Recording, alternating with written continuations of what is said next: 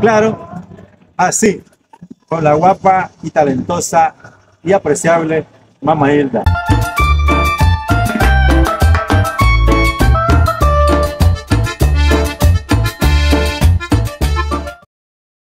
Una dicha, un placer tener a Mama Hilda.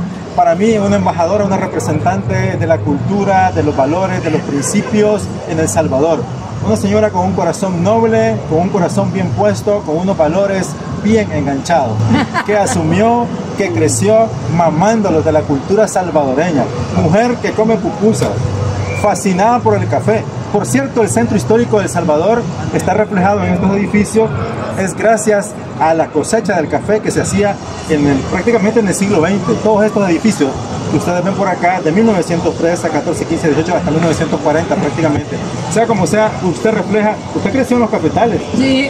Mamá Hilda creció cortando en café. cortando café. No crean que estoy al- Limpiando café. Y dormí en los cafetales desde niña con mi mamá cuando los agarraba a la noche. con un plástico. Con un plástico los cubríamos. Teníamos el cielo por techo ¿Y y, el el, suelo? suelo?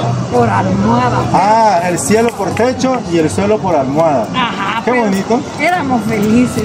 Más que yo no le entendía la vida. Yo no sabía si, si, si- qué era gozar o qué era sufrir. Yo tranquila, con solo tener unas grandes changotas así, frijoles, salitas, un, po- Suficiente. un poco de mora cruda. Una dicha de tener acá con nosotros, mamá.